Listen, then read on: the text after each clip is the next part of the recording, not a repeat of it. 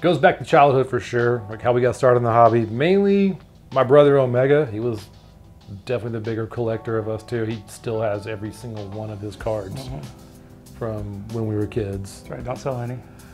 Never. They're worthless once they get in his hands. Just- Whenever I'd go to the mall, I remember just taking my money to the toy store and just buying cards. And then there were a lot more LCSs back then in our little town. I think we had three of them at the time, and we'd go there and just buy cards.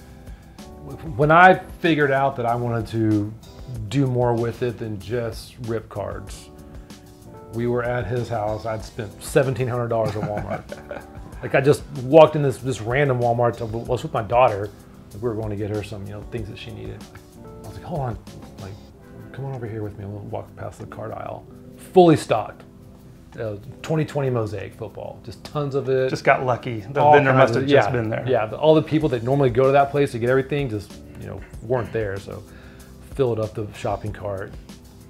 Texted my brothers like, check this out. Got sending pictures like, oh yeah, score. Took it all to his house. We started ripping it all and like I had this you know, epiphany. I was like, wait a second, like what? Why am I spending all this money ripping all these cars? Like, because I had seen some people breaking cars on YouTube. It was, was kind of new to me. I'm like, why don't we take all this product and just break it on, break it on some platform? I'm sure we can figure it out. And it's, got some of these people doing this. If they can do it, we can do it too. And actually, when we first started, I don't even know that we were thinking about building a business so much as just making a little bit of extra money, Yeah, and you know, it'd be yeah, fun, absolutely. and That's kind of fund our, you know, purchases or whatever. Yeah, well, I think we were thinking just free cards. Yeah, right. We can get free cards. Yeah, we can yeah, pay for the cards we're buying. Yeah, we can so- sell these cards, keep these, rip them. so much fun. Then, like. I think our first break we did, we're like, okay, this is pretty good. Let's, Right. let's do this again as soon as possible. And, Yeah. And we started out like a lot of people probably we were listing our breaks on eBay and breaking it on YouTube and Mhm. you know um, kind of that you know you know having like three or four different places you know to sell the break, break the break, get paid, you know stuff like that. Yeah. So yeah, intro to Loupe. I, I remember uh, I always listen to a lot of podcasts about sports cars, sports in general, whatever. And I remember seeing Zilla on, it was, I think it was with Ty. And um, I called him and told him about it. I was like, have you, have you seen Loupe? So I think we both checked it out. You know, we hadn't seen Had seen not it. heard of it. Yeah. And this was back in November? maybe, maybe, October, October, November 2020?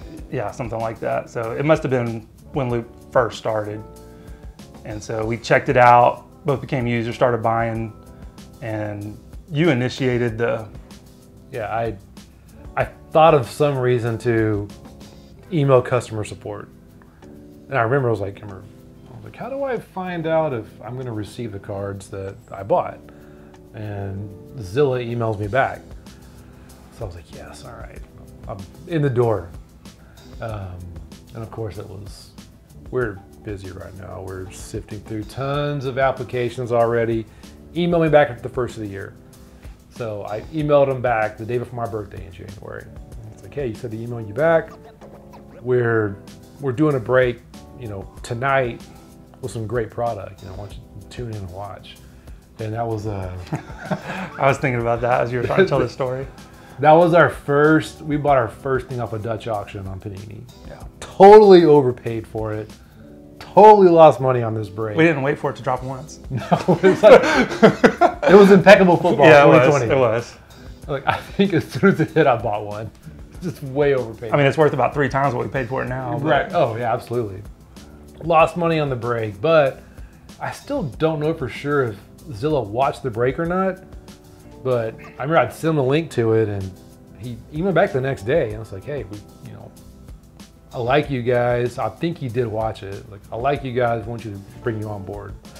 So of course we're just, yes, yes, you know, because we're watching Loupe and like Yeah. it's great. Like it was mm-hmm. so, so exciting. Like it was just the app is, is outstanding. Like the way it was say even back then. Like there's so many improvements since Oh, yeah, then, but sure. even back then, like I thought it was mm-hmm. just the, the best thing that was out there to, to buy cards. That Herbert, the Herbert was probably one of the, the highlights. Mm-hmm, there was sure. a lot of hype around that that Herbert Stars and Stripes, you know, rookie auto from National Treasures. The thing I remember about that too is the adrenaline when you pull something like that. I mean, I couldn't go to sleep for Yeah. Five or six hours after the stream ended on that. I mean, it was just like a rush. Pure adrenaline, just Yeah. heart pounding, hands shaking, screaming uncontrollably. Uh, I mean, for me, that was probably my best memory was was that card.